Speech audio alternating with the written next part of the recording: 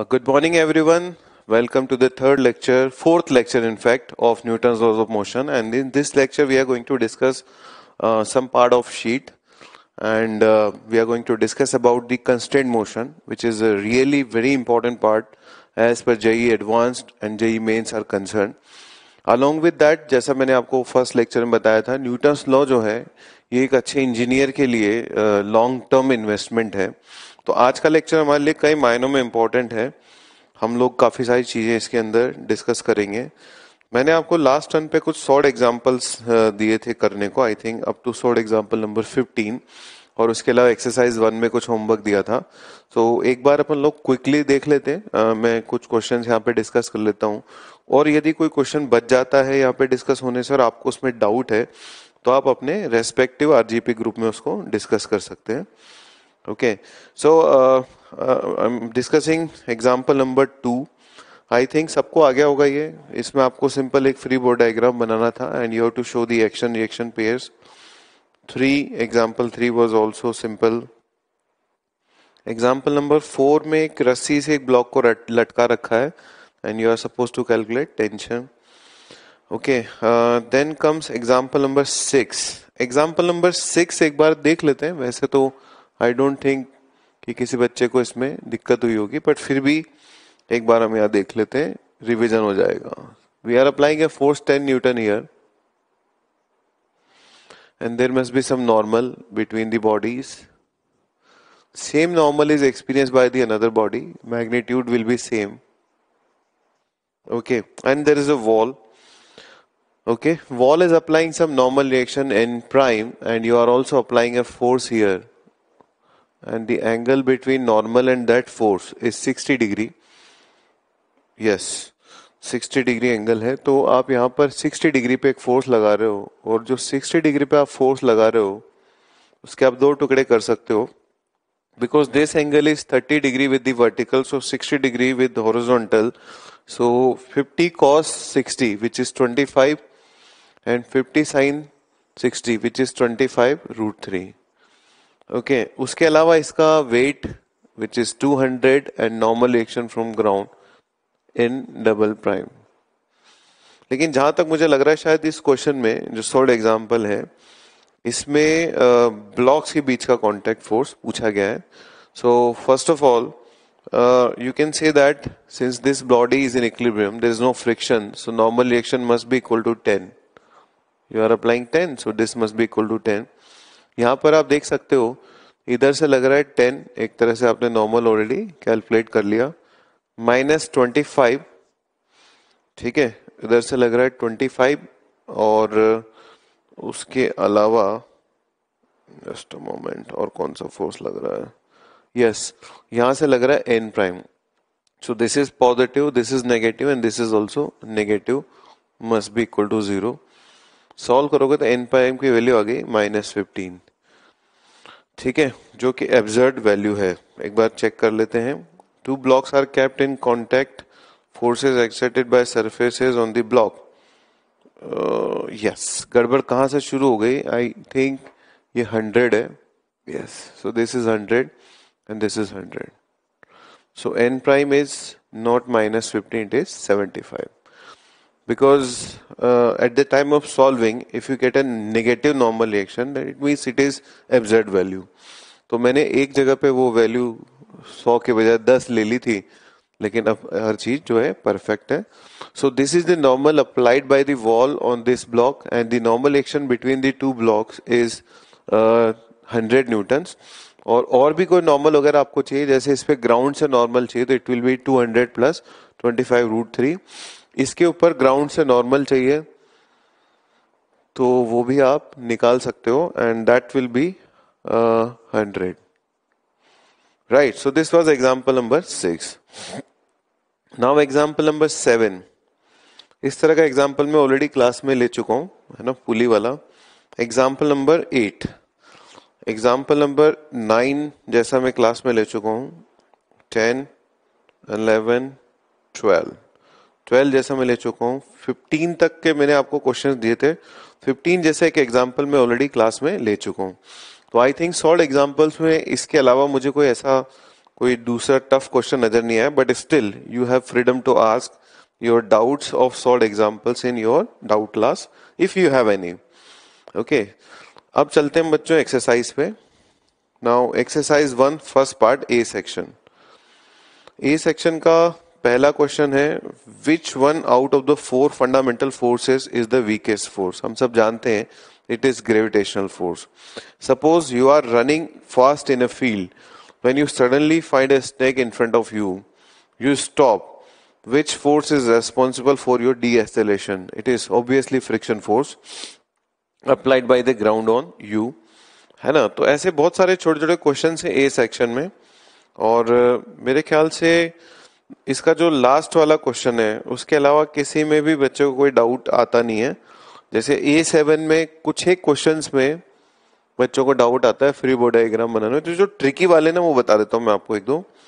जैसे मुझे लगता है इसका एच पार्ट और इसका जो आई पार्ट है, वो थोड़ा सा ट्रिकी है। ठीक है एच पार्ट में आपको दे रखा है you have a body like this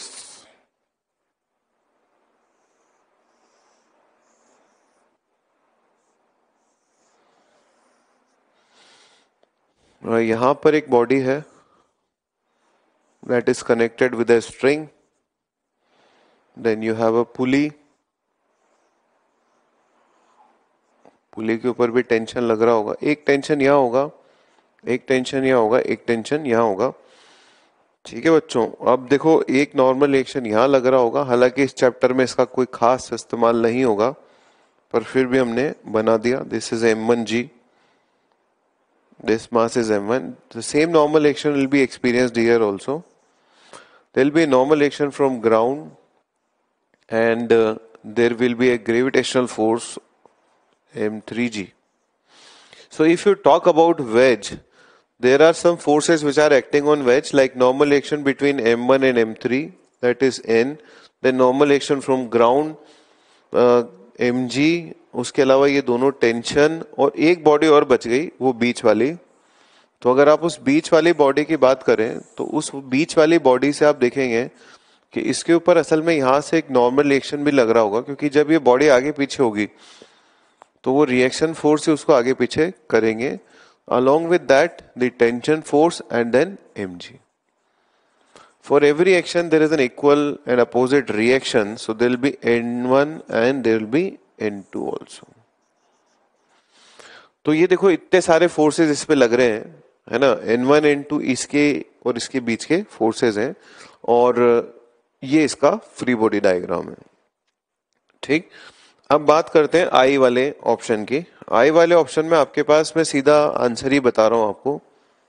You have a triangular wedge like this so एक काम करते हैं, इधर बना लेते हैं, आई वाले ऑप्शन का answer you have a triangular wedge like this and उसके ऊपर भी एक ट्राइंगुलर वेज रखा हुआ है, ऐसे. ट्राइंगुलर वेज पे ट्राइंगुलर वेज है. यहाँ से एक नॉर्मल एक्शन लग रहा होगा which will be perpendicular to the surfaces and the gravitational force in downward direction, that is m2g okay, and here it is m1g and the normal action from ground n prime. So that is all about i option. बस इतने ही forces इसमें लग रहे हैं। अगर इसमें कोई friction action होता तो वो हम लगाते पर है नहीं। इसलिए अपन इसको यहीं पे क्लोज कर सकते हैं। So this was a section of exercise one now we'll discuss B section exercise one first part B one question B one question देख लेते हैं बच्चों एक बार. A block of mass M is placed on a ground and an additional force is applied on it calculate the contact force between ground and the block इसको हवा में ही solve कर सकते हैं. ऑलरेडी ब्लॉक पे एम लग रहा है. उसके अलावा आपने और एक एमजी लगा दिया तो टू एम के बराबर नॉर्मल एक्शन हो जाएगा. है ना? तो इतना आसान क्वेश्चन था ये. अगला क्वेश्चन देखिए B2 ये जो B2 है, ये सॉर्ट एग्ज़ाम्पल जैसा है. ये ऑलरेडी आप इस तरह का क्वेश्चन कर चुके हो, लेकिन ये बहुत आसानी से भी सॉल्व किया जा सकता है. इधर से एफ़ इधर से एफ़ आप देख सकते हो पूरा जो सिस्टम है, वो सिस्टम रेस्ट पे रहेगा because net external force is zero it mean the normal action between the bodies will also be F तो एक बार बता ही देता हूँ B two so you have two bodies which are in contact. And you are applying a force F here. इधर से भी एफ़ फोर्स लगा रहे हो। तो आप जानते हो कि अगर इसके ऊपर पूरे सिस्टम पे हमने फोर्स लगाया, इधर से एफ़ इधर से एफ़ तो ये सिस्टम चलने वाला तो है नहीं। इसका मतलब इन दोनों के बीच में जो नॉर्मल रिएक्शन लग रहा है that normal reaction is also equal to F ऐसे करके आप जवाब दे सकते हैं। है ना? ये हो गया आपका B two question now coming to B three question B three question देखते हैं। इसमें एक दो वॉल्स के बीच में एक स्फेयर आपने फंसा दिया। And the radius of the sphere is slightly the separation is slightly more than two R इसका मतलब बीच में गैप है। So there will be no reaction force applied by the walls अगर हम आपको स्फेयर का फ्री वो डायग्राम बनाने को बोले तो इस तरह का डायग्राम बनेगा। केवल ज़मीन से एक नॉर्मल रिएक्शन लग रहा होगा and which will be passing through centre और नीचे लग रहा होगा स्फेयर का एमजी तो आप कह सकते हो कि जो नॉर्मल रिएक्शन है वो एमजी के बराबर है। इधर से जो नॉर्मल रिएक्शन है, अगर किसी ने एन वन मान लिया और इधर से किसी ने नॉर्मल रिएक्शन एन टू मान लिया तो N one and N two both will be equal to zero मान लिया, मान लो किसी ने, उसको लगा कि मैं मान लेता हूँ। तो वो ज़ीरो आ जाएगा। कोई नॉर्मल रिएक्शन नहीं आएगा। ये जो नॉर्मल रिएक्शन है, ये दीवार पे बना रहे हैं। इस तरह से।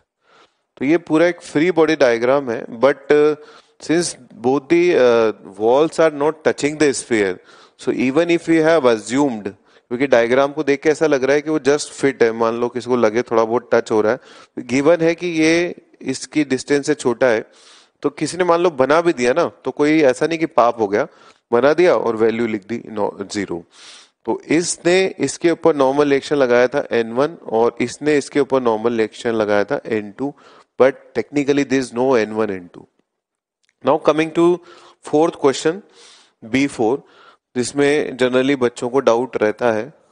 देखो बच्चों बी फोर में क्या है? आपके पास एक इस तरह का स्फीयर है सिलेंडर है, और वो जो सिलेंडर है वो इस तरह के दो सरफेसेस के ऊपर रखा हुआ है। The angles and all are given to you.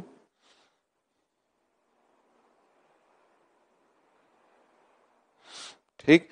अब इसमें कौन कौन से फोर्सेस लग रहे होंगे? एक एक करके हम फ्री बोर्ड डायग्राम बनाते हैं। इधर से लग रहा होगा एन वन ठीक है? इधर से लग रहा होगा एन टू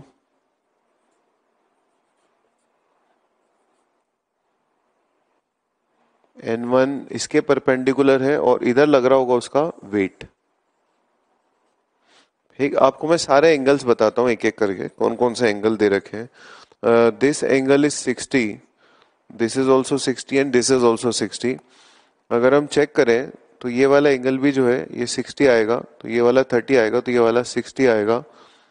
ये वाला 60 होगा, ये वाला 60 होगा तो ये पूरा का पूरा जो एंगल है, मैं दूसरे कलर से आपको बताता हूँ। This complete angle will be 120 degree right if this angle is 120 degree this was 60 degree है ना? और हम साबित कर देंगे कि ये वाला एंगल भी 120 डिग्री होगा। मैं आपको बताता हूँ कैसे। आ, देखो दो सर दो लाइंस के बीच में वही एंगल होता है जो कि इनके नॉर्मल्स के बीच में होता है। तो इस वाली लाइन एक सेकेंड इस वाली लाइन और इस वाली लाइन के बीच का एंगल 60 डिग्री है। ये नॉर्मल अरे यार, ये गड़बड़ हो गई। ये वाला एंगल आएगा 60 डिग्री ठीक है, एक बार फिर भी चेक कर लेते हैं, ताकि कोई गड़बड़ नहीं हो अपने से। Sixty sixty sixty sixty thirty और सिक्सटी एक सौ बीस ही आएगा। वन ट्वेंटी डिग्री आएगा। मैंने कैसे किया? This is sixty this is sixty ये भी सिक्सटी ये भी सिक्सटी ठीक है? और ये वाला एंगल सिक्सटी डिग्री है हॉरिजॉन्टल के साथ तो एक सेकेंड ये वाला एंगल भी सिक्सटी डिग्री होगा। मैं ऐसा करता हूँ नॉर्मल बना ही लेता हूँ। लाइन ड्रॉ कर ही लेता हूँ। बार बार कंफ्यूजन हो रहा है। दोबारा करते हैं। Sixty sixty sixty sixty sixty thirty okay then sixty और यहाँ से अपन ने एक लाइन ड्रॉ करी। ये वाला 60 है, यहाँ पर भी एक लाइन ड्रॉ कर लेते हैं। 60 ये भी 60 ये वाला ये वाला एंगल 60 डिग्री होगा तो ये वाला भी 60 हो गया, ये वाला 60 वो 30 आएगा।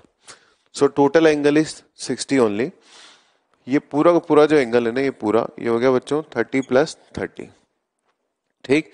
एक्चुअली मैं इसको लामीज थ्योरम से करने की कोशिश कर रहा हूँ। वैसे तो ये सवाल बहुत आराम से हो जाएगा। आप लोग ऐसे बोल सकते हो because this angle is sixty and this angle is sixty so I can write N one cos sixty plus is equal to N two cos sixty cos sixty cos sixty gets cancel and you will get N one is equal to N two then N one sine sixty plus N two sine sixty N one into root three by two plus N two into root three by two is equal to weight force balance कर दिया मैंने simple क्योंकि N one बराबर N two था, मैंने उसको N मान लिया. सॉल्व करोगे तो you'll get N root three is equal to weight so you'll get N is equal to W divide by root three ठीक. लेकिन जो मैं एंगल निकालने की मेहनत कर रहा था एक्चुअली उस मेहनत के पीछे का लॉजिक क्या था वो देखो. एक्चुअली मैं लामीज थ्योरम लगाना चाह रहा था। लामीज थ्योरम तब लगाई जाती है when you have three forces in a plane which are balanced so you have N one you have N two and you have weight मेरे को जिनकी ज़रूरत पड़ती है वो देखो। मेरे को यहाँ से यहाँ तक का एंगल चाहिए। ये 60 डिग्री है। तो और उसके बाद इस एंगल की मेरे को ज़रूरत पड़ेगी। This is 60 this is 60 this is 60 yes एक एक मेरे को ये वाला एंगल चाहिए पूरा। ये वाला। तो चेक कर लो, ये 150 आएगा। तो फिर ये भी 150 होगा। तो बचा कुछ एंगल 150 हो गया। Right so if you apply Lami's theorem you can write N one divided by sine 150 fifty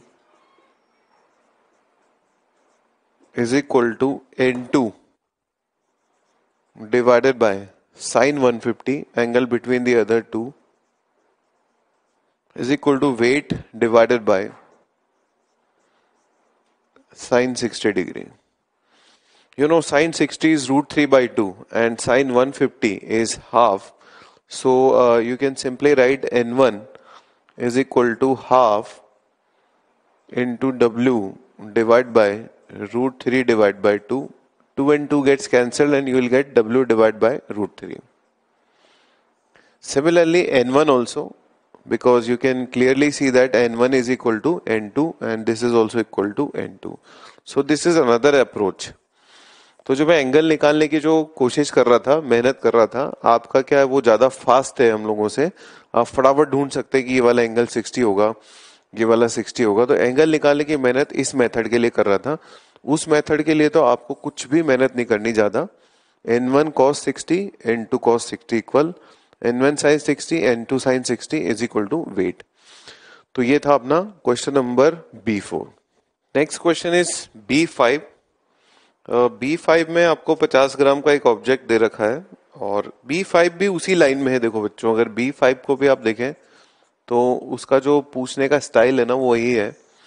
एक तरफ़ आपका होरिजेंटल सरफेस से नॉर्मल रिएक्शन लग रहा होगा एन वन और एक तरफ़ आपके पास एक इंक्लाइंड सरफेस है, और जो इंक्लाइंड सरफेस है, उसका आपको इंक्लिनेशन दे रखा है and this inclination is thirty degree so if this angle is 30 degree this angle is also 30 degree इसको मैं पीछे तक बढ़ा रहा हूँ।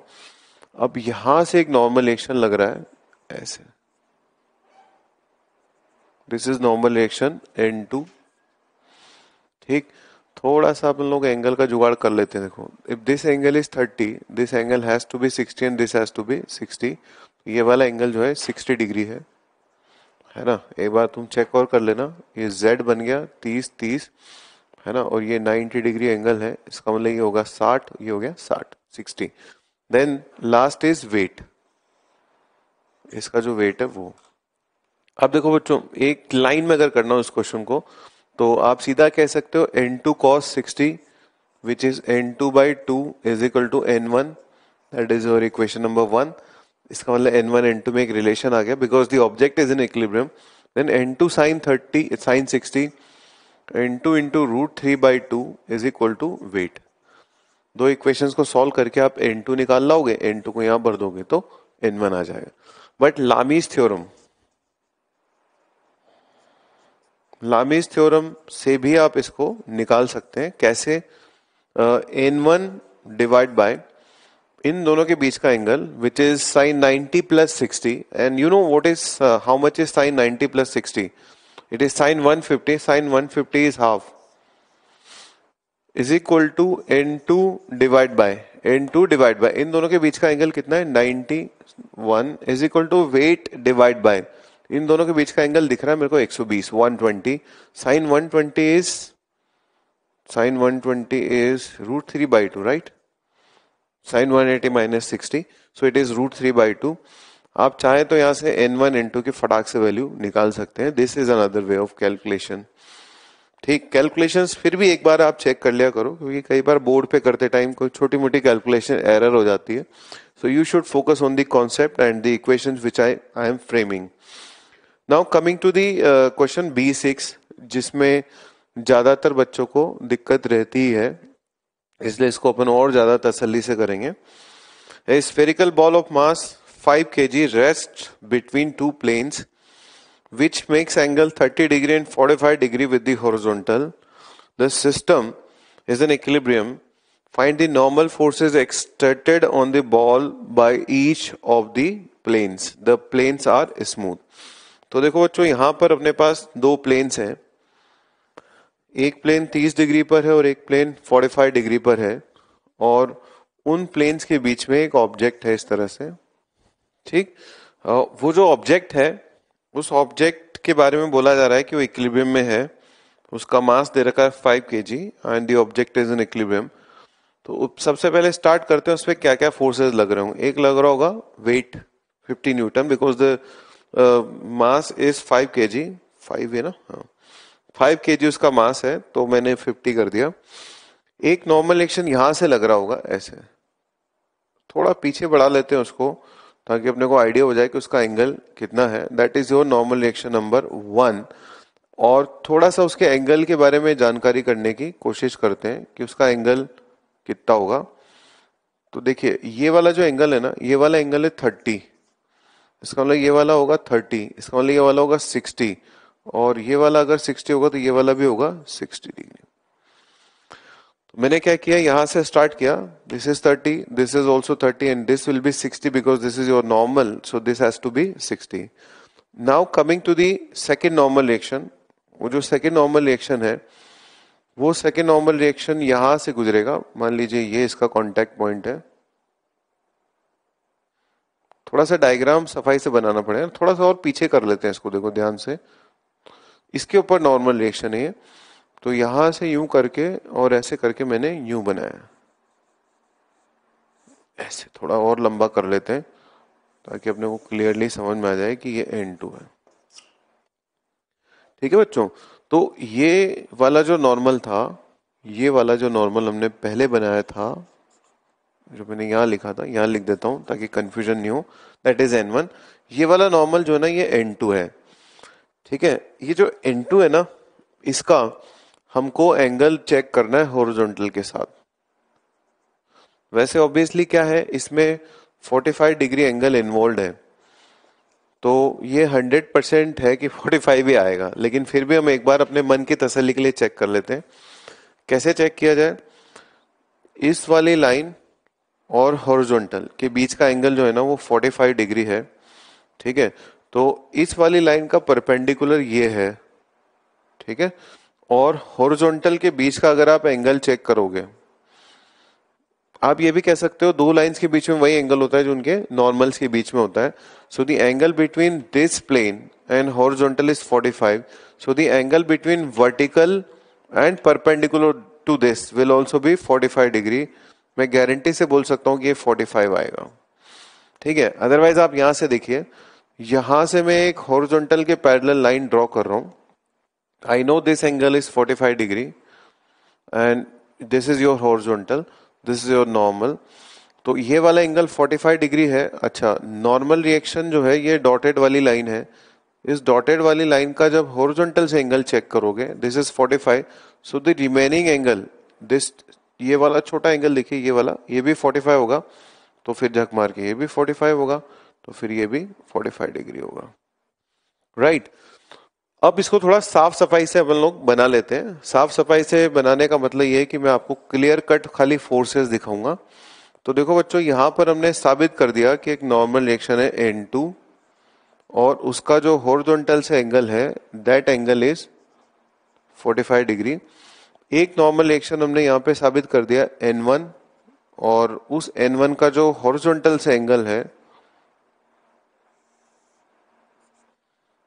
N1 का हॉरिजॉन्टल से जो एंगल है वो है 60 और एक है आपका वेट अब आपके पास सवाल करने के बहुत सारी चॉइसेस हैं। आप चाहें तो इसमें लामी थ्योरम लगा सकते हैं। लामी थ्योरम मेरे ख्याल से अब ठीक ठाक आपको कंफर्ट आ गया होगा।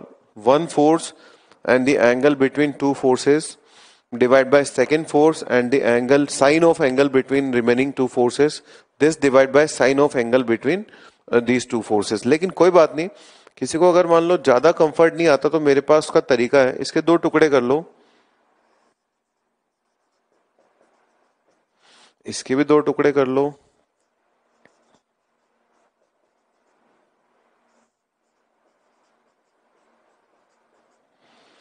ठीक है? तो ये जो फोर्स था, इसके दो टुकड़े कर लिए N two by root two और एक हो गया N two by root two इस वाले फोर्स के भी दो टुकड़े कर ले N one by two and N one root three by two and now you can apply equation of Newton law और बैलेंस करो होरिजोनटल डायरेक्शन में। So N one divide by two will be equal to N two divide by root two यहाँ से आपको मिलेगा N one is equal to root two times N two, ये आपके पहली इक्वेशन हो गई। दूसरी इक्वेशन हम यहाँ से बना सकते हैं। वाई डायरेक्शन में फोर्स लग रहा है। N one into root three divide by two और एक फोर्स लग रहा है वाई में नीचे। That is N two divide by root two उसके अलावा एक फोर्स और लग रहा है वेट वेट दे रखा आपको पचास। अब आपकी जैसी मर्ज़ी हो, वैसे कर सकते हो। आप चाहो तो पहले N two by root two को गायब कर दो। N two by root two को गायब करके और आप यहाँ से एन वन की वैल्यू निकाल सकते हो। Calculate N one once you calculated n1 you calculate n2 you can solve it very easily okay Lami's theorem लगा के भी कर सकते हो। एक बार मैं आपको एंगल्स और समझा देता हूँ, ताकि आपके दिमाग में कोई कंफ्यूजन नहीं रहे। देखो, ये जो नॉर्मल रिएक्शन वन है ना ये असल में इस वाले प्लेन के ऊपर नॉर्मल था, ठीक है?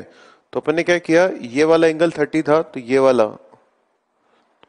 ये थर्टी था तो ये जेड बन गया तो ये वाला भी क्या हो गया? थर्टी ये वाला क्या हो गया? सिक्सटी इसका मतलब उस नॉर्मल का होरिजोनटल से एंगल कितना था? 60 फिर देखिए, ये जो सेकंड नॉर्मल है, वो उसके ऊपर परपेंडिकुलर उसका एंगल है 45 तो हमने यहाँ से एक होरिजोनटल लाइन खींची तो वो हो गया 45 तो बचा हुआ भी कितना हो गया? 45 तो इसका होरिजोनटल से एंगल कितना होगा?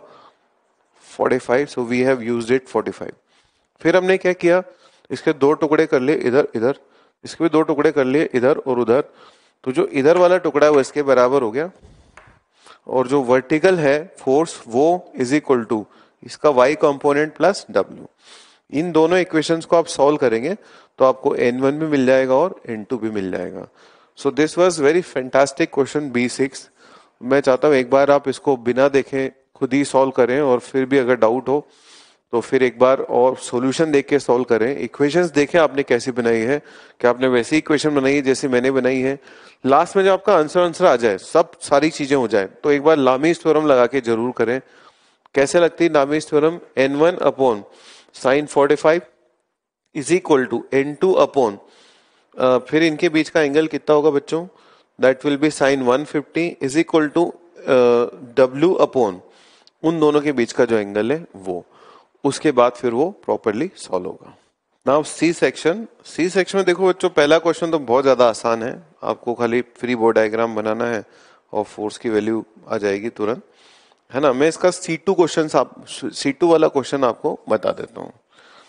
One metre long massless string with a wall is pulled horizontal by applying a force of magnitude 10 newton fix कर रखा अपन ने और मासलेस और है।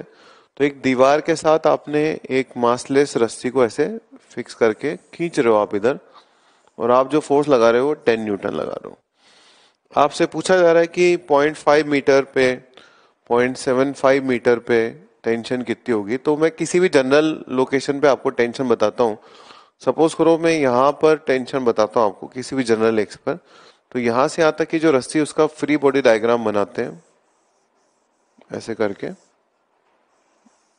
इधर से आप फोर्स लगा रहे हो टेन न्यूटन, और इधर से टेंशन मान लीजिए टी है, किसी भी जनरल डिस्टेंस की बात चल रही है एक्स तो आप बोल सकते हो ten minus T is equal to zero because string is in equilibrium so T will be equal to ten. बस, इतना इजी है। तो क्या पॉइंट सेवन फाइव पे वही टेंशन होगा? Yes yes. क्या पॉइंट फाइव पे वही टेंशन होगा? Yes yes. क्या दीवार ने भी उतना ही फोर्स लगाया होगा? एग्जैक्टली प्रिसाइसली उतना ही फोर्स लगाया होगा। मेरे ख्याल से इसके लगभग सारे क्वेश्चन आसान है एक्सेप्ट सी फाइव जिसमें थोड़ा बहुत बच्चों को दिक्कत आ जाती है तो एक बार सी फाइव बता देता हूँ। हम्म, हम्म। ये पुली है। के इधर एक टेंशन है टी वन इधर से भी एक टेंशन है टी टू इधर से एक टेंशन है टी थ्री और इधर एक टेंशन है टी फोर और उसके बाद में यहाँ से एक फोर्स लगा के खींचा जा रहा है। This is T one and this is F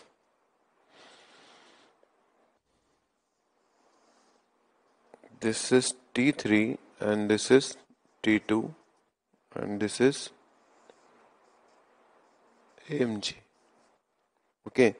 जैसा कि मैंने आपको थ्योरी में बताया था कि अगर रस्सी मासलेस हो तो उसमें एक ही टेंशन होती है तो टेक्निकली देखा जाए तो रस्सी में जो भी टेंशन है कॉमन टेंशन तो T1 उसके बाद T3 उसके बाद T2 ये सब जो है ना, असल में T के बराबर है which is equal to F यहाँ पे रस्सी जो है, अगर हम उस रस्सी का फ्री बॉडी डायग्राम बनाए तो आप कह सकते हो कि जितना फोर्स ऊपर लग रहा होगा F minus T one must be equal to zero string is massless दूसरी बात यह भी है कि इक्लिबियम और है इसके अंदर। तो अगर वो मासलेस होती और इक्लिबियम नहीं भी होता तो भी यहाँ पे तो एफ़ बराबर टी वन में बोल सकता था। यहाँ पर जब मैं न्यूटन लगाऊँगा तो मैं इसका एक्सलेशन ज़ीरो लूँगा because it is in equilibrium so all the tension are equal to F all the tension मतलब टी फोर को छोड़ के टी फोर की वैल्यू है बच्चों T one plus T two plus T three के बराबर। इसका मतलब this will be equal to three times F और कौन सी टेंशन है? एक बार जरा वो भी चेक कर लेते हैं। हाँ एक टी फाइव थी यहाँ पे। टी फाइव और वो जो टी फाइव है ना, वो असल में वेट के भी बराबर है। T five is also equal to weight So uh, if you calculate T5, it is equal to weight, but T5 is also equal to T2 plus T3, which is also equal to 2 times F. क्योंकि ये सब जो है ना T1, T2, T3 ये F के बराबर है। T4 हो गया आपका 3F एक आंसर आ गया। T5 आ गया 2F क्योंकि T5 की वैल्यू 2F के बराबर आ गई। इसका मतलब आप रिक्वायर्ड फोर्स निकाल सकते हो। To keep this system in equilibrium it is W by two इसका मतलब यहाँ पर आप W बाई टू फोर्स लगा करके W वेट को रोक सकते हो। तो आपने देखा यहाँ से हमने फोर्स लगाया, वो T के बराबर हुआ, ये T, फिर वो रस्सी में T, फिर वो T और T मिलके two T is equal to T five but T five was equal to W so two T was equal to actually W but T was equal to F तो ऐसे करके आप आराम से इनकी इक्वेशन बना के सारे क्वेश्चन को सॉल्व कर सकते हो। तो एक तरह से हमने सब निकाल लिया। T one F T two F T three F T4 3F, T5 2F. So we have calculated all the values. Okay, so this was exercise 1 first part, C section. Uh, now coming to exercise 1 second part A section. एक बार A section discuss करते हैं फिर B और सी भी discuss करेंगे चलो बच्चों इसमें देखो ए सेक्शन में सबसे पहले तो ए वन से ए टू ए वन बहुत इजी क्वेश्चन है आप फ्री बोर्ड डायग्राम बना सकते हो ही क्वेश्चन है। तो आई डोंट थिंक इसमें कोई ऐसा टफ क्वेश्चन है जिसको डिस्कस किया जाए। आ, फिर भी आपको कोई डाउट हो तो अपने टीचर से ज़रूर पूछें। जैसे ए टू क्वेश्चन देख सकते हैं अपन लोग। ए टू क्वेश्चन में आप देखें यहाँ पर एक इस तरह से रॉड है। अब रस्सी में जो टेंशन है वो ऐसे लगेगी और जो नॉर्मल रिएक्शन है वो ऐसे लगेगा ज़मीन से और जो वेट होगा वो नीचे की तरफ़ लगेगा। इन्होंने नॉर्मल रिएक्शन को आर से रिप्रेजेंट किया हुआ है but it's it hardly matters तो नॉर्मल रिएक्शन ऊपर की तरफ़ लगेगा टेंशन भी ऊपर की तरफ़ लगेगी और एमजी जो है वो नीचे की तरफ़ लगेगा। इसका मतलब इसका करेक्ट आंसर होना चाहिए सी ठीक है बच्चों तो ये तो था अपना B one sorry that was our A two question now coming to B section B section में B one B two B two बता देता हूँ, क्योंकि अगर किसी को मान लो बी वन नहीं भी आया तो वो बी टू से बी वन का भी काम चला सकता है। आपके पास दो ब्लॉक्स हैं, इसके ऊपर सिक्स न्यूटन का फोर्स लग रहा है, ठीक है? और इन दोनों के बीच में नॉर्मल रिएक्शन मान लेते हैं एन और यहाँ पर फोर्स लग रहा है एन और यहाँ से थ्री न्यूटन का फोर्स लग रहा है है ना? मान लेते हैं इसका एक्सेलेशन ए है तो इसका एक्सेलेशन भी ए होगा बिकॉज़ वो एक के साथ एक चिपके हुए तो साथ ही चलेंगे एक ही एक्सेलेशन से। Apply Newton law six minus M 6 minus n is equal to mass of this object is 2 twice of a, and here n minus 3 is equal to mass of this object is 1 into a. एक बार जोड़ दो, जोड़ते हैं आपको acceleration मिल जाएगा। 3 divide by 3 which is 1 metre पर सेकेंड स्क्वायर और एक्सेलेशन की वैल्यू यहाँ डाल दोगे ना तो नॉर्मल रिएक्शन मिल जाएगा आपको 4 न्यूटन ठीक है? इस तरह से इसको सॉल्व किया जा सकता है। इसको ऑब्जेक्टिव तरीके से भी सॉल्व किया जा सकता है। आप इस पूरे सिस्टम को अगर देखें तो इस पूरे सिस्टम पे एक्सटर्नल से फोर्स लग रहा है total three mass is three total overall system में। तो एक्सेलेशन इज़ वन इसका मतलब इस पे जो नेट फोर्स लग रहा होगा, दो किलो वाले ऑब्जेक्ट पे, वो लग रहा होगा एम ए एम ए मतलब टू टू कैसे लग सकता है फोर्स इधर से सिक्स लग रहा है, लेकिन आप कह रहे हो नेट टू है, इसका मतलब नॉर्मल तो देखते देखते ही फोर आ गया। इसके अगले क्वेश्चन का जो जवाब है ना, वो ऐसे ही दिया जा सकता है। जैसे किसी बच्चे को बी थ्री क्वेश्चन नहीं आया ना तो वो जो बीच में छोटा ब्लॉक फंसा हुआ है, अपने को पता है वो आगे की तरफ़ एक्सेलेटेड है। कैसे पता? बिकॉज़ फोर्स लग रहा है लेफ़्ट टू राइट जिसको देखते हैं आप समझ सकते हो कि यहाँ से लगने वाला जो नॉर्मल रिएक्शन है, अगर उसका नाम एन है, और यहाँ से लगने वाला नॉर्मल रिएक्शन एन प्राइम है तो N is obviously more than N prime how do I know because net force on this object इस ऑब्जेक्ट के ऊपर लगने वाला जो नेट फोर्स है, वो राइट right में है।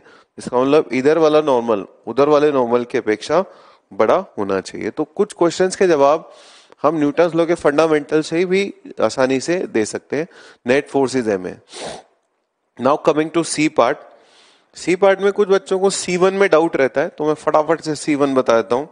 देखो बच्चों, यहाँ पे फोर्स लग रहा है एफ़ यहाँ पर लग रहा है टी और यहाँ पर फोर्स लग रहा है आपका एम जी है ना? तो आप इसको जैसे ये वाला एंगल थीटा है तो ये वाला 90 माइनस थीटा है। दिस इज़ 90 माइनस थीटा तो इधर वाला कंपोनेंट क्या होगा? इधर वाला T sine theta this will be equal to F और उधर वाला कंपोनेंट क्या होगा? That will be T cos theta that will be equal to M G you divided you will get tan theta is equal to f upon mg. तो if you want to calculate value of f in terms of mg, वो आएगा mg tan theta. If you want to calculate value of tension in terms of f, वो यहीं से आ जाएगा f cosec theta, f by sin theta. Now coming to next question. Hmm. हाँ दो लोगों ने एक रस्सी को पकड़ा हुआ है और उसके बीच में ये भी काफ़ी बच्चों को दिक्कत रहता है कि क्या एक ऑब्जेक्ट को दो लोग ऐसे रस्सी से खींच के हॉरिजॉन्टल रख सकते हैं? और अगर उन्होंने उसको हॉरिजॉन्टल में रख लिया, पहली बात तो ये है कि वो सेम एंगल पे फोर्स लगा रहे हैं। और अगर वो दोनों सेम एंगल पे फोर्स लगा रहे हैं तो दोनों की टेंशन भी इक्वल होनी चाहिए, क्योंकि अगर इधर की टेंशन बड़ी होगी तो ऑब्जेक्ट उधर भाग जाएगा, इधर की बड़ी होगी तो इधर भाग जाएगा। तो हमें ये प्रूव कर देना है कि वो कोई भी दो लोग इस तरह से खींच करके इसको होरिजेंटल रख ही नहीं सकते। मैं बताता हूँ कैसे। देखो बच्चों T cos theta T cos theta के बराबर होगा but two T sine theta will be equal to M G so T will be equal to M G divide by two sine theta now think about this situation when this string is horizontal हम उसको तो horizontal रखना चाहते हैं। इसका मतलब theta tending to zero होगा। Then T will be tending to infinite इसका मतलब ऐसी कोई रस्सी नहीं बनी जो एक ऑब्जेक्ट को लेफ़्ट और राइट से खींच करके हॉरिजॉन्टल में रख सके। वो हल्का सा नीचे जाएगा ही जाएगा, क्योंकि थीटा अगर टेंडिंग टू ज़ीरो हो गया तो you will need a string rope which can sustain infinite tension अब ऐसी कोई रस्सी है ही नहीं। इसका मतलब टेक्निकली हम उसको हॉरिजॉन्टल नहीं रख सकते। हम अपने जो घर है रूम्स है, उनके अंदर देखते हैं, जो दीवारों के बीच में जो छत डली होती है, उस छत में बीच बीच में सपोर्ट्स होते हैं आरसीसी के सपोर्ट्स होते हैं, वो इसीलिए होते हैं। और मैं आपको बताऊँ, कोई भी सपोर्ट जो है ना, वो परफेक्ट ओरिजेंटल कभी नहीं रह सकता, चाहे वो कितना ही रिजिड हो, क्योंकि उसका सेंटर मास बीच में होता है। तो वो हल्का सा हल्का सा ही झूल जाए, लेकिन हल्का सा झूलता है वो ज़रूर। सिविल इंजीनियर्स इसको बहुत अच्छी तरह से जानते हैं, समझते हैं and they calculate that deviation also इसीलिए आपने देखा होगा कि रूम्स की हमेशा की स्टैंडर्ड साइज़ होती है।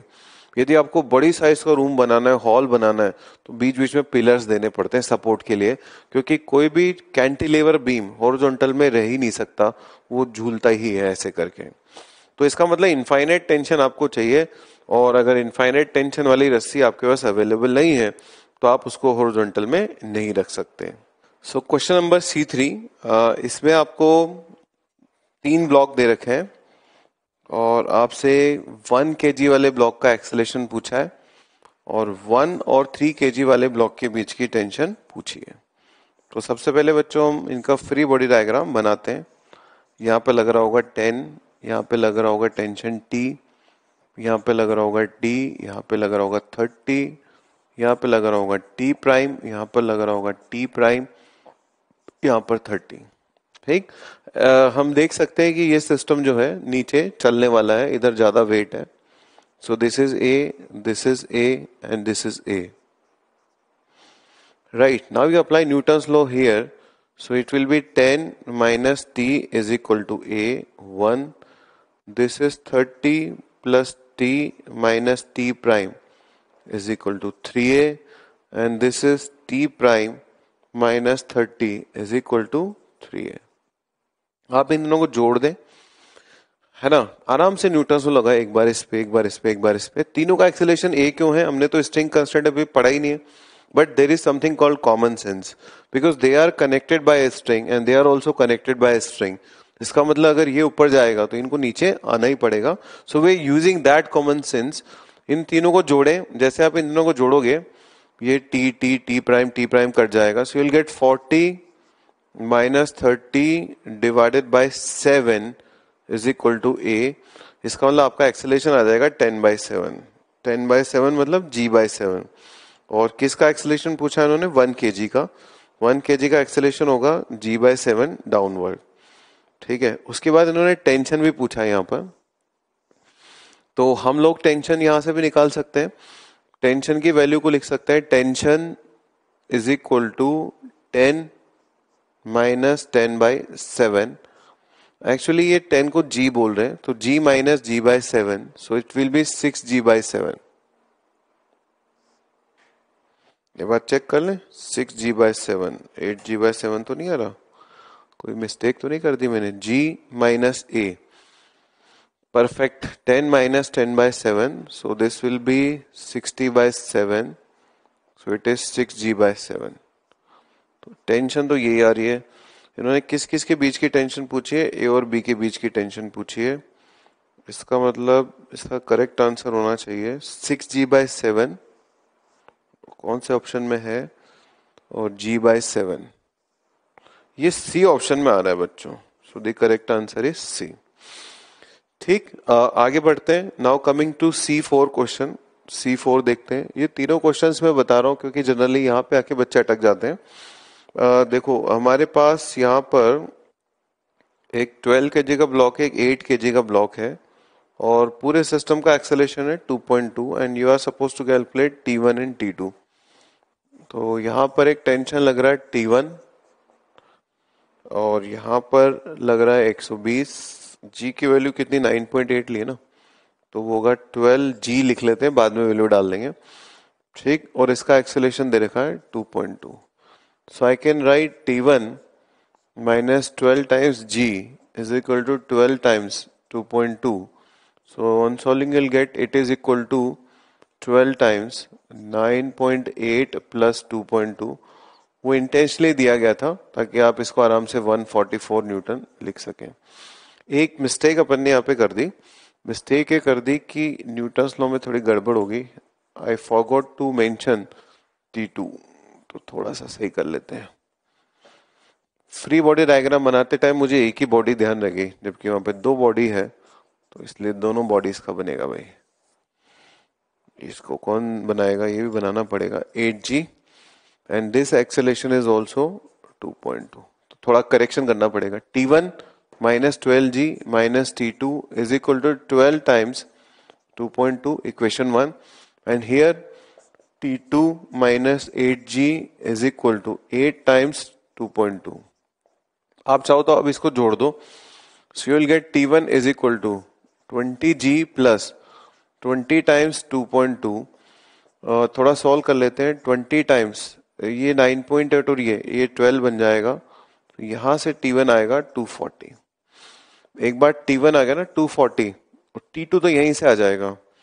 T2 will be equal to 8 times twelve minus six newton देखते हैं कौन सा वाला ऑप्शन दोनों को मैच कराता है। Two forty and ninety six this is C option तो ये भी एक अच्छा क्वेश्चन था। अब एक लास्ट क्वेश्चन बचा है सी फाइव जिसको हमको डिस्कस करना है। क्वेश्चन है बच्चों सी सेक्शन का। उसमें आपको एक बहुत हैवी ऑब्जेक्ट के साथ एक बहुत लाइट ऑब्जेक्ट इस तरह से अटैच करवा दिया गया है। I think this is C five question last question exercise 1 first part B section. And you are supposed to calculate uh, force here. यहाँ पर आपको फोर्स बताना है। यहाँ पे फोर्स है टू टी यहाँ पे है टी और यहाँ पर है टी यहाँ पर भी टी यहाँ पर भी टी यहाँ पर है कैपिटल एम जी और यहाँ पर है small m g because capital m is very very large as compare to small m इसलिए ये बॉडी चलेगी नीचे विद एन एक्सेलेशन ए ये उसी एक्सेलेशन से ऊपर चलेगी। ओके okay, हमें ऐसा लगता है कि यहाँ पर जो हम रस्सी पकड़ के इस पुली को पकड़ेंगे वो इस पर डिपेंडेंट होना चाहिए। लेकिन आप जब सॉल्व करोगे तो आपको पता चलेगा वो इस पे नहीं। वो इस पे डिपेंडेंट आता है। क्योंकि ये जितना बड़ा है ना उतना ही ज़्यादा फोर्स भी इस पे नीचे की तरफ़ लग रहा है। और एक्चुअली टेंशन जो है ना वो टेंशन का डिसीज़न अल्टीमेटली इस पे डिपेंड नहीं करेगा, इस पे आएगा। अब न्यूटन लगाइए, अपने आप आपको क्लियर होगा, capital m g minus T is equal to capital m a and here it is T minus small m g is equal to small m a एक बार दोनों को जोड़ दो। दोनों को जोड़ोगे तो स्मॉल ए की वैल्यू आएगी। Capital m minus small m divide by capital m plus small m into g मैं सजेस्ट करूँगा कि आप इसको याद भी रख लें, क्योंकि ये कई बार आएगा। एक तरफ़ एम टू होगा, एक तरफ़ एम वन होगा एक्सेलेशन पूछा जाएगा तो you can directly write acceleration m2 minus m one divide by m two plus m1 into g and if you calculate tension by replacing this value here tension की value आएगी बच्चों two small m capital m divide by small m plus capital m into g but you know capital m is very large as compare to small m so you can neglect here और अगर आप इसको neglect करेंगे तो आपका tension का value आएगा। This divide by capital m but capital m and capital m gets cancelled and tension is approximately two small m g if tension is approximately two m g then this force will be approximately four m g इसका मतलब यदि आपसे कोई रस्सी की tension पूछता है तो वो टू एम जी आएगा। और यदि आपसे कोई ये पूछता है कि वहाँ कितना फोर्स लग रहा है तो वहाँ पे जो फोर्स आएगा, वो आएगा टेंशन का double which will be equal to 4 mg. आप इसको यहाँ पर रख के देख सकते हैं, एक बार चेक कर सकते हैं, मैं भी आपको चेक करवा देता हूँ small m into capital m minus small m divide by capital m plus small m into g ये जो एम उधर जाएगा तो एम कॉमन आ जाएगा, और वहाँ पे आएगा one plus capital m minus small m by capital m plus small m solve करोगे तो फाइनली आप यहाँ लैंड करोगे। ठीक है?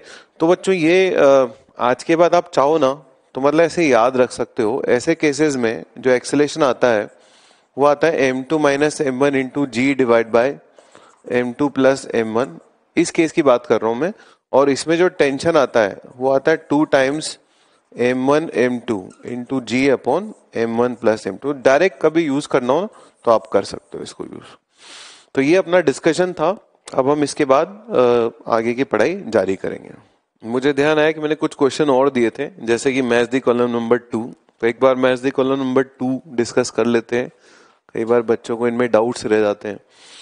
तो match the column number two में, देखो बच्चों, जो match the column number two का पहला वाला पार्ट है उस पहले वाले पार्ट में हमने इस तरह से फोर्सेस लगा रखे हैं, इधर लगा रखा है एफ़ टू यहाँ पे ज़रूर टेंशन टी होगा। यहाँ पे टेंशन टी उधर लग रहा है एफ़ वन मैं बिना सिस्टम के अप्रोच के बता रहा हूँ, इसको सिस्टम के अप्रोच से बताया जा सकता है। एक को बड़ा मान लेते हैं एफ़ टू को बड़ा मान लिया, मान लो मैंने मानी, मान, नहीं, इन्होंने वैसे कुछ दे रखा अपने को। F two by m two is more than F one by m one तो सही है, हमने मनी मन इसको ज़्यादा एक्सीट होता हुआ मान लिया तो हम लोग इधर ही एक्सीलेशन मान लेते हैं, फिर बाद में देखेंगे। They have given a condition F two by m two is more than F one by m one so I am going to use it later so, first of all, apply newton's law here.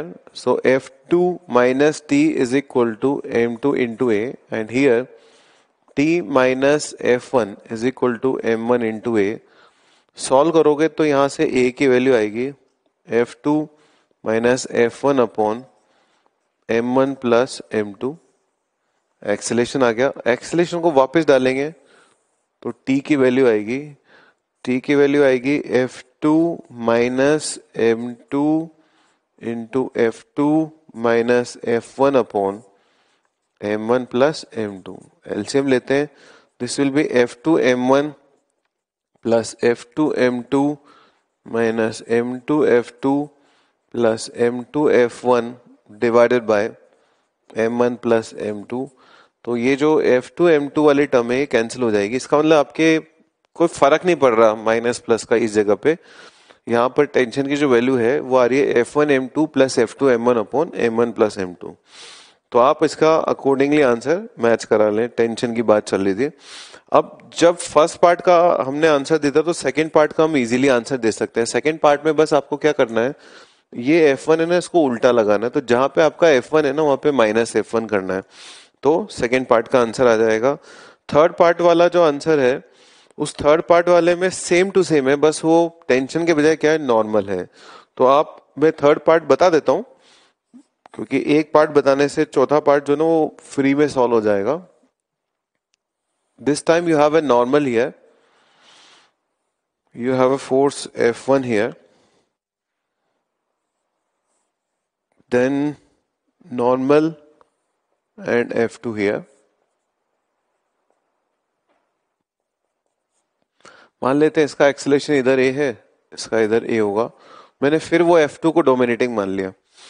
ठीक है ना? F2 dominating मानते हुए बात कर रहे हैं। So I can write N minus F one is equal to m one a and similarly I can write F two minus N is equal to m two a इन दोनों को जोड़ेंगे।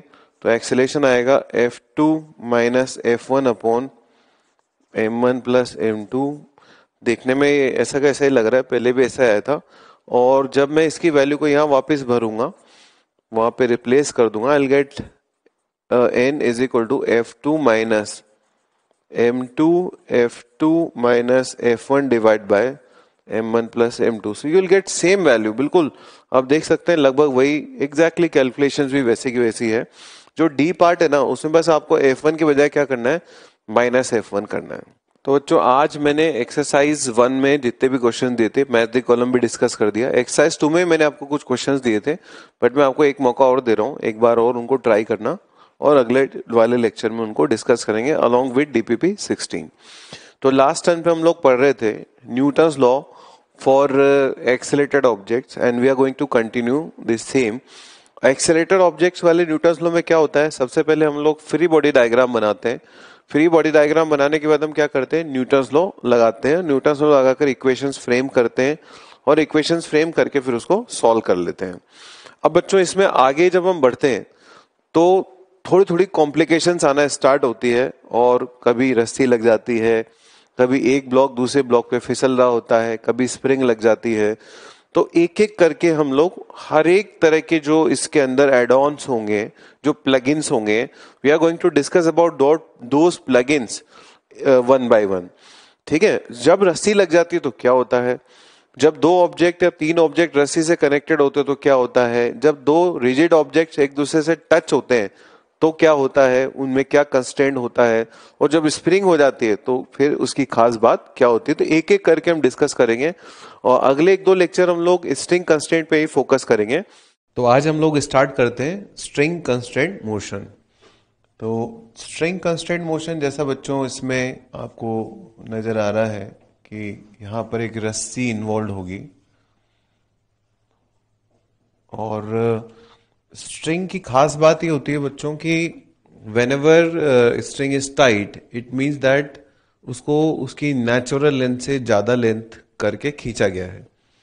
इसका मतलब रस्सी में टेंशन तभी आ सकती है जब वो एक्सटेंसिबल हो। लेकिन मैं यहाँ पर कुछ अदमशन लिखूँगा। वो अदमशन में, पहला ही अदमशन मेरा ये होगा कि स्ट्रिंग जो है वो इनएक्सटेंसिबल है।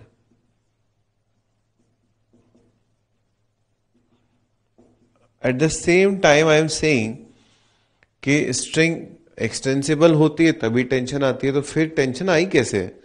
तो कहने का मतलब ये है बच्चों कि ये एक्सटेंसिबल तो है बट जो एक्सटेंशन है वो बहुत कम है। और ये कह सकते हो कि एक बार टेंशन डेवलप हुआ और जो एक्सटेंशन होना था हो गया, उसके बाद उसकी लेंथ में चेंज नहीं आ रहा है। It is not like spring it is string रस्सी है और उसकी लेंथ कांस्टेंट आप देखो प्रैक्टिकली जब आप देखते हो ना रस्सी को तो आपको उसकी लेंथ लगभग कांस्टेंट नज़र आती है। लेकिन एक्चुअली में होती नहीं है। जब हम रस्सी को खींचते हैं तो उसकी लेंथ बढ़ती है, तभी उसमें टेंशन आती है। पर एक ये अदम्पशन हम लोग यहाँ पर लेते हैं कि रस्सी इनएक्सटेंसिबल है। यानी कि वो एक पर्टिकुलर लंबाई से ज़्यादा खींचती नहीं है। और आपने जब एक बार उसको खींच दिया टेंशन डेवलप कर दी तो उसके बाद वो उससे ज़्यादा खींचेगी नहीं। कहने का मतलब क्या है? देखिए, मान लो मेरे पास एक ऑब्जेक्ट है ए और उसके साथ जुड़ा हुआ एक दूसरा ऑब्जेक्ट है बी ठीक है? अब ये टाइट है रस्सी। ऑलरेडी इसके अंदर टेंशन जो है वो नॉन ज़ीरो है। अब मान लो मैं इसको इधर वी वेलोसिटी से खींच करके लेके जाता हूँ। So this string is inextensible इसका मतलब जितना खींचना था खींच गई है, इसके बाद खींचेगी नहीं। तो अगर ये वी वेलोसिटी से आगे जाएगा तो इसको भी वी वेलोसिटी से आगे आना पड़ेगा। ये है स्ट्रिंग कंस्ट्रेंट स्ट्रिंग के साथ बंधे हुए, यानी कि एक को आप वी से खींचोगे तो दूसरा भी वी से आएगा। अगर इसका एक्सेलेशन ए होगा तो इसका एक्सेलेशन भी ए होगा।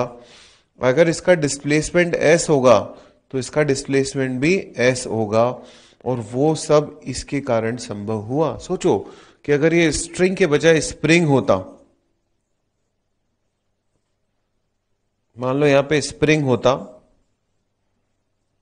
है ना, और इसकी वेलोसिटी वी होती तो क्या हम गारंटी से बोल सकते हैं इसकी वेलोसिटी वी ही होगी? कुछ भी हो सकती है ज़ीरो भी हो सकती है। सोचो अगर रस्सी होती, लेकिन रस्सी जो है वो टाइट नहीं होती। तो इसकी वेलोसिटी अगर वी होती can you comment about velocity of this body you can not comment इसका मतलब आप कमेंट तभी कर सकते हो जब रस्सी जो है, एक तो इनएक्सटेंसिबल हो, दूसरा रस्सी में टेंशन नॉन ज़ीरो हो। What is exactly string constant let's try to understand with some other examples देखो बच्चों, अगर मान लो, मेरे पास इस तरह से एक पुली है, उस पुली से एक और पुली कनेक्टेड है और उसके साथ एक और पुली कनेक्टेड होके इस तरह से एक बॉडी कनेक्टेड है। यहाँ पर भी एक बॉडी कनेक्टेड है। काफ़ी मतलब मैंने कोशिश करी है कॉम्प्लिकेटेड बनाने की। This body is A and this body is B right this is a fixed pulley this is also a fixed pulley and this is also a fix pulley is a fix pulley and this is some horizontal surface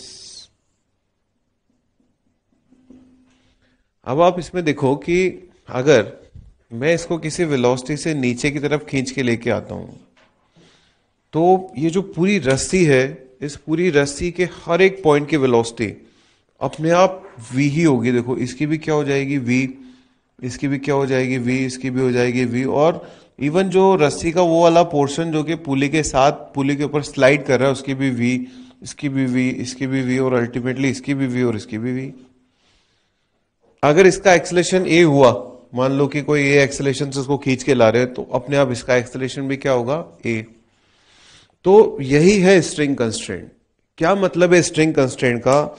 अगर हम उसको language में लिखें तो उसको जरा लिखते हैं, हम लोग नोट डाउन करते हैं व्हाट इज़ स्ट्रिंग कंस्ट्रेंट और फिर उसका यूटिलाइज करना शुरू करेंगे, एक एक करके, पहले सिंपल वाले केसेस में, फिर कॉम्प्लिकेटेड केसेस में। तो आप लिख सकते हैं if two or more than two if two like this ये अभी टू ही है बट मान लो बीच में यहाँ पे कोई ऑब्जेक्ट और होता तो मोर देन टू हो जाता। तो if two or more than two objects are connected by a string if two or more than two objects are connected by a string, then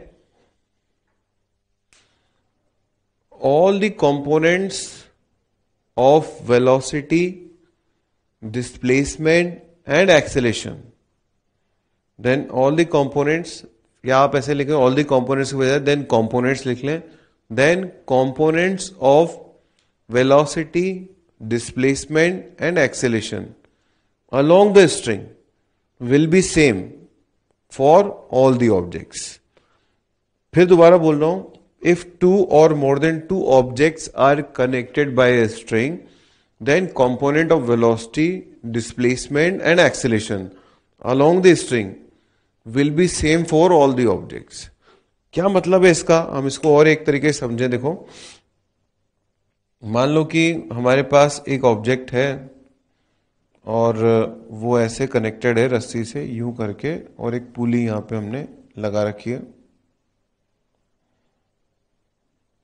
और ये जो बॉडी है, ऐसे है। And let's say this angle is theta this is some horizontal surface ये B है और ये ए है। ठीक है। मान लीजिए कि वी वेलोसिटी से नीचे की तरफ़ आ रहा है। ये वी से नीचे की तरफ़ आ रहा है और ये वाला जो एंगल है ना, ये वाला एंगल थीटा है। और ये किसी वेलोसिटी वी बी से जा रहा है और ये वी ए से नीचे आ रहा है। बाद में मैं इसको मैथमेटिकली प्रूव भी कर देंगे। मैं इसको डिफ्रेंशिएट करके प्रूव करके बताऊँगा आपको कि ये जो रिलेशन में बोल रहा हूँ वैसे आएगा। बट फ़िलहाल मैं आपको, मैंने जो शब्द बोले, उन शब्दों पे गौर करते हुए इसका आंसर देने को बोल रहा हूँ। If velocity of A is v A then calculate velocity of v B so what I was speaking to you क्या लिखवाया था मैंने आपको डेफिनेशन में? If two or more than two objects are connected by a string then component of velocity, acceleration, and displacement along the string will remain same for both all, जितने भी objects connected सबके लिए same रहेगा along the string. तो देखो बच्चों, इसकी velocity इधर है वी है वी बी जिसके दो कंपोनेंट कर सकते हो, एक इधर कर सकते हो और एक इसके परपेंडिकुलर कर सकते हो आप। तो वीबी का कौन सा कंपोनेंट अलोंग द स्ट्रिंग आएगा? It will be v B cos theta v B cos theta से रस्सी जारी होगी। हर एक पॉइंट वीबी कॉस थीटा से जा रहा होगा और ये पूरा का पूरा वी ए है। तो वी ए तो पूरा आ जाएगा। Is equal to v A तो इवन इस तरह के कॉम्प्लिकेटेड सिचुएशन में आप जवाब दे सकते हो। जैसे मैं आपको एक और सिचुएशन बताता हूँ। That is another interesting situation for you let's say आपके पास दो ऑब्जेक्ट्स हैं। एक ऑब्जेक्ट है ए और एक ऑब्जेक्ट है B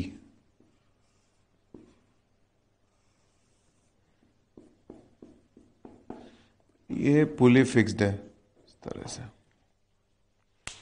Now velocity of this body is v A and this angle is theta A and velocity of this body is v B and sorry this angle is theta B and velocity is v B and string is tight tension is not equal to zero इसका मतलब जो भी ज़रूरत होगी वो पूरी हो रही होगी। ऐसा कोई कंस्टेंट नहीं आ रहा होगा कि ये तेज चले और तेज चल के स्ट्रिंग को जो है वो स्लैक कर दे। बहुत आराम से तसली से देखना। देखो, इसकी वेलोसिटी आगे की तरफ़ वीए है तो इसके इस पॉइंट की भी आगे की तरफ़ क्या होगी? वी ए वो तो हर एक पॉइंट की वी ए होगी। उसका कौन सा कंपोनेंट अलोंग द स्ट्रिंग आएगा? If this angle is theta है this angle is also theta है तो वी ए का कौन सा कंपोनेंट अलोंग द स्ट्रिंग आएगा it is V A cos theta है and velocity of this body is V B so this point is also V B V B का कौन सा कंपोनेंट रस्सी के लोंग आएगा? कॉस या साइन बिकॉज़ इसके और इसके बीच में एंगल थीटा बी है तो कॉस वाला आएगा. So this should be equal to V B cos theta B फिर से अपने मन में उन शब्दों को दोहराएँ जो मैंने आपको स्ट्रिंग कंस्टेंट के बारे में लिखवाए थे. टू और more than two objects are connected by string component of velocity along the string रस्सी के अलोंग वेलोसिटी जो है सेम होगी। क्या है कि ये बॉडी जब आगे जाएगी तो रस्सी की लंबाई बढ़ाएगी तो उसका ये वाला जो कंपोनेंट होगा इस वेलोसिटी का, जिस रेट से इसको बढ़ा रहा होगा, उसी रेट से इसको घटना ज़रूरी है, क्योंकि रस्सी की जो लेंथ है वो कांस्टेंट है। तो component of velocity along the string will remain same इसी चीज़ का इस्तेमाल हम और एक दो जगह पे करते हैं, आगे बढ़ते हैं। कुछ और एग्जांपल्स लेते हैं। देखो, अब जैसे ये काफ़ी क्लासिकल एग्जांपल है, जो अपन लोग ऑलरेडी यूज़ भी कर चुके हैं पहले। हम लोग इसकी टेंशन भी कैलकुलेट कर चुके हैं। दोबारा करेंगे लेकिन यहाँ पे, क्योंकि स्ट्रिंग कंस्टेंट को सॉल्व करने के कई सारे मेथड्स होते हैं अलग अलग लोगों के। अब देखो बच्चों इसमें क्या है कि जैसे मान लो ये किसी वेलोसिटी मान लो ये एक्स वन नीचे आया तो हमको पता है एक्स टू ऊपर जाएगा। ये अगर वी वन वेलोसिटी से नीचे आ रहा है तो ये वी टू से ऊपर जाएगा और अगर ये ए वन से नीचे आ रहा है तो ये ए टू से ऊपर जाएगा। बट मैं प्रूव कर सकता हूँ, बल्कि ये तो जनरल नॉलेज भी है कि अगर रस्सी इनएक्सटेंसिबल है then X one will be equal to X two and V1 is definitely equal to V2 and A1 is definitely equal to A2 यही तो स्ट्रिंग कंस्टेंट है। जो बात मैं आपको बोली थी, उसको फिर मैं आपको कानों में दोबारा सुना रहा हूँ। Velocity and acceleration and displacement along the string अर्थात ये अगर x1 आ रहा है तो अलोंग द स्ट्रिंग आप देखें। स्ट्रिंग को आप ऐसे देखें, पूरा यूँ करके।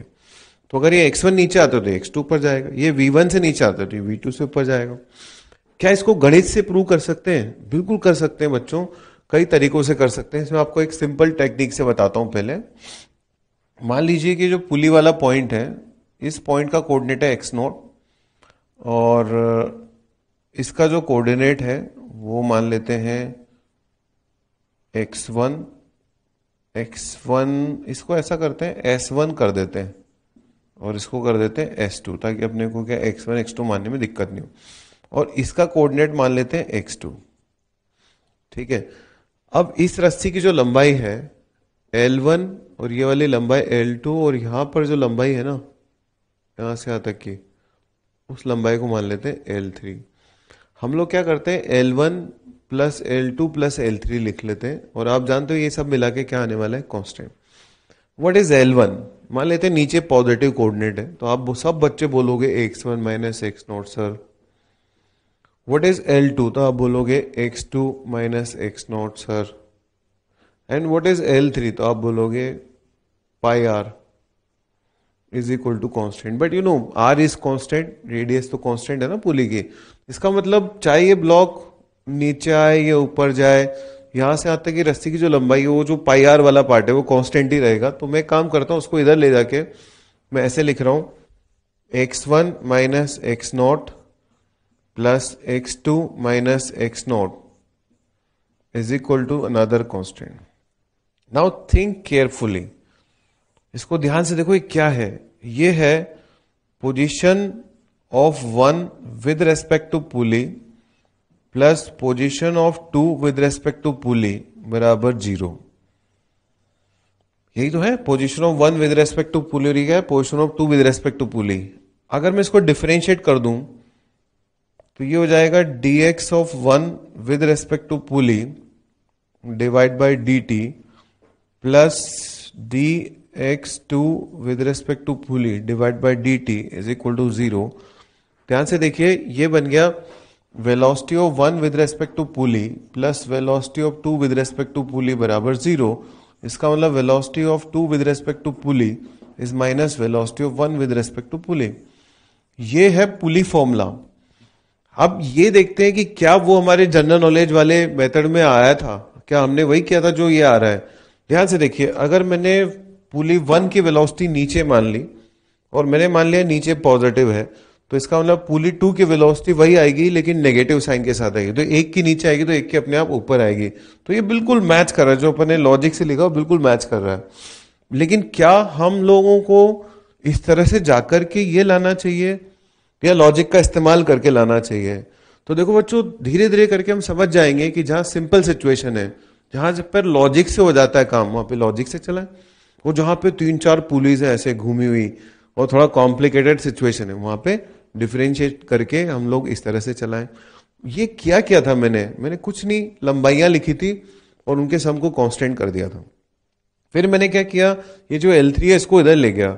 इसका मतलब आज के बाद हम आगे से याद रखेंगे। हम लोग क्या करेंगे, केवल उन्हीं लंबाइयों के सम को कांस्टेंट करेंगे, जो कि चेंज हो रही है। बाकी जो पुली के ऊपर है, पुली के आजू बाजू से निकले कई बार quarter section will be on the pulley, कई बार half section will be on the pulley which remains constant every time तो उसको हम लोग लंबाई में लेंगे नहीं। जैसे मैं चाहता तो इसको भी ऐसे ले सकता था L one plus L two is equal to C prime where C prime is equal to C minus L three L three is the constant length यहाँ से मैं एक पुली फॉर्मूला बना सकता हूँ आपके लिए। आप ऐसे भी लिख सकते हैं velocity of one with respect to ground minus velocity of two with respect to ground sorry minus velocity of pulley with respect to ground plus velocity of two with respect to ground minus velocity of pulley with respect to ground equal to zero आपने अभी अभी ताज़ा ताज़ा इसको relative में पढ़ा था पिछले चैप्टर में। So I can write velocity of pulley with respect to ground is equal to velocity of one with respect to ground plus velocity of two with respect to ground divide by two ये मैं क्यों बता रहा हूँ आपको? कई बार आपको ऐसे छोटे छोटे क्वेश्चन मिलेंगे, देखना ध्यान से। तुरंत एक क्वेश्चन भी कर लेते हैं। मान लो एक पुली पाँच मीटर पर सेकेंड से जा रही है। एग्जामिनर आपसे पूछेगा कि ये जो बॉडी है ना, ये नीचे की तरफ़ दो मीटर पर सेकेंड से जा रही है। बताओ, इस वाली बॉडी की वेलोसिटी जो है वो कितनी है? ये velocities with respect to ground आपको दे रखी है। अब आपके पास उस सवाल का जवाब देने के दो मेथड है। पहला मेथड ये है कि आप पहली बात ये देखें कि यहाँ से आते की जो रस्सी उसकी लंबाई किस रेट से बढ़ रही है। मेथड तो मैं और बता दूँगा, दो से ज़्यादा है, पर पहले दो पे कॉन्सेंट्रेट करते हैं तो ये सात की रेट से बढ़ रही है। अब ये रस्सी जो है सात की रेट से अगर बढ़ रही है तो इसका मतलब यहाँ पे सात की रेट से कम होना चाहिए ना। कम कब होगा? जब ये ऊपर ट्वेल्व की रेट से जाएगा। तो एक तो आप ऐसे ही समझ सकते हैं, या तो इस फॉर्मूले का इस्तेमाल कर सकते हैं। इसकी वेलोसिटी पुली के रेस्पेक्ट में लिखें तो वो पुली रोक दें। तो आपने रिलेटिव में पढ़ा था ना बच्चों, पुली रोक देंगे तो इसकी वेलोसिटी उल्टी जाके जुड़ जाएगी तो वो जाएगा सेवन ठीक है? इसकी वेलोसिटी मेरे को पता नहीं है। मान लेता हूँ इसकी वेलोसिटी ऊपर की तरफ़ है वी तो आपने इसकी वेलोसिटी लिखी, इस बॉडी की वेलोसिटी लिखी पुली के रेस्पेक्ट में तो वो आई सेवन अब इसकी वेलोसिटी लिखी पुली के रेस्पेक्ट में तो वो आएगी बच्चों v minus five is equal to zero solve करोगे, एक सेकेंड कुछ गड़बड़ हो गई। अपन लोगों ने ऊपर की वेलोसिटी पॉजिटिव लिख ली। इसकी वेलोसिटी पुली के रेस्पेक्ट में नीचे आती है seven so I should write minus seven Y minus seven क्योंकि वो नीचे है। अपन लोग ऊपर वाले पॉजिटिव मान लेते हैं। तो ऐसा कुछ बच्चे ये भी सोच सकते हैं कि सर, कभी तो आप नीचे पॉजिटिव मानते हो, कभी ऊपर। एक क्वेश्चन में कोई एक डायरेक्शन में पॉजिटिव मान लो, अपने आप सब सेट हो जाएगा। तो जैसे इसमें मैंने ऊपर पॉजिटिव मान लिया। तो इसकी वेलोसिटी इसके रेस्पेक्ट में सेवन नीचे आ रही थी तो मैंने क्या लिख दिया? माइनस सेवन अब इसकी वेलोसिटी इसके रेस्पेक्ट में क्या आ गई? वी माइनस फाइव सॉल्व करोगे तो वी की वैल्यू आ गई ट्वेल्व लेकिन बच्चों, उसी क्वेश्चन का जवाब आप डायरेक्ट यहाँ से भी दे सकते थे। हमें पुली की वेलोसिटी पता है कितनी है? फाइव हमें एक ब्लॉक की वेलोसिटी पता है, कितनी है? Minus two. माइनस टू क्यों लिखा मैंने? क्योंकि वो नीचे की तरफ़ है और हमसे दूसरे ब्लॉक की वेलोसिटी पूछी जा रही है v. सॉल्व करिए five into two plus two, it will be twelve. दो मेथड ही हो गए। तीसरा मेथड फीलिंग। कौन सी फीलिंग? ये रस्सी सात की रेट से बढ़ रही है तो इसको सात की रेट से कम होना चाहिए। एक बढ़ेगी तो एक घटेगी ना। इसका मतलब सात की रेट से अगर कम होना है तो इसको कितनी स्पीड से ऊपर जाना चाहिए? ट्वेल्व से। तो ये तीसरा मेथड हो गया। तो ये एक तरह से आप कह सकते हो कि स्ट्रिंग कंस्टेंट की हमारी शुरुआत है और अगले टर्न पे हम इसको और समझेंगे, पढ़ेंगे और ये एनालाइज करेंगे, आखिरकार स्ट्रिंग कंस्टेंट का हमारा इस्तेमाल क्या हो रहा है। तो वैसे एक बार आप इसका इस्तेमाल देख चुके हो बच्चों। जब मैं न्यूटन लॉ लगाऊँगा तो मैं जब इसका फ्री बॉडी डायग्राम बनाऊँगा तो एम जी माइनस टी बराबर एम ए लिखूँगा। फिर यहाँ लिखूँगा टी माइनस एम जी बराबर एम ए अब वो ए जो मैंने लिख लिया ना ऑलरेडी मैंने इसमें भी ए लिख लिया, इसमें भी ए लिख लिया। एक तरीके से वो मैं तभी लिख पाया हूँ जब मैं स्ट्रिंग कंस्टेंट का इस्तेमाल कर चुका हूँ। अगर आपने इसमें ए वन और इसमें ए टू लिखा होता तो आपके पास वेरिएबल आ जाते tension A one A two तो आपको तीन इक्वेशन की ज़रूरत पड़ती। और आपने डायरेक्टली ए वन बराबर ए टू ले लिया। इसका मतलब आप ऑलरेडी इस्तेमाल कर चुके स्ट्रिंग कंस्टेंट का। तो स्ट्रिंग कंस्टेंट मोशन हमारे कहाँ काम आएगा?